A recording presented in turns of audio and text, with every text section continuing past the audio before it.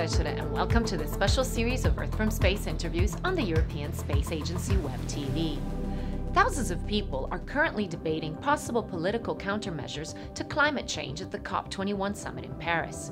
The UN Framework Convention on Climate Change has long recognized the need for global observations of so-called essential climate variables, which we at ESA are providing from satellite data within its climate change initiative. Some of the leading scientists on the essential climate variables have been kind enough to explain just what they're measuring within their project, why it's needed, and what it is good for. Let's go take a look. So the oceans cover two-thirds of Earth's surface area, and the temperature of the ocean uh, is really important for more or less everything in, in the climate system. So for example, if you think about sea level rise, that's partly due to thermal expansion of the oceans as temperature rises.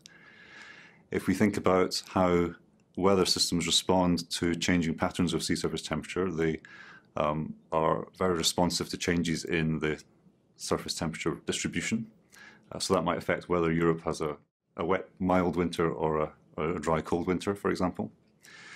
Uh, you can see in our data uh, ocean currents uh, as different as water of different temperatures uh, move past each other, and we get a very detailed view of that in the data sets we produce.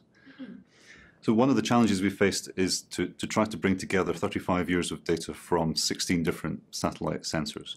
And that has to be harmonized so that we can accurately compare a temperature measured from the 1980s with a temperature that we might measure today.